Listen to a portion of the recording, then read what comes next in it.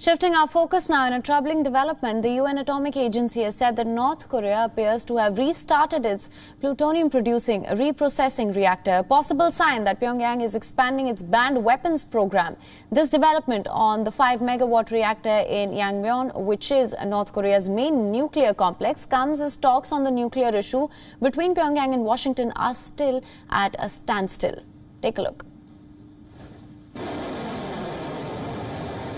North Korea could soon be resuming production of its nuclear weapons. In its annual report dated Friday, the International Atomic Energy Agency said Pyongyang appeared to have restarted a nuclear reactor believed to have once produced plutonium for the country's nuclear arsenal.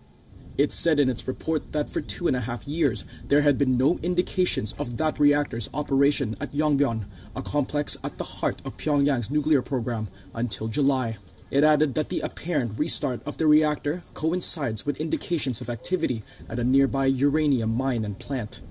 That comes after the IAEA said there had been signs at Yongbyon of possible reprocessing work to separate plutonium from spent reactor fuel earlier this year.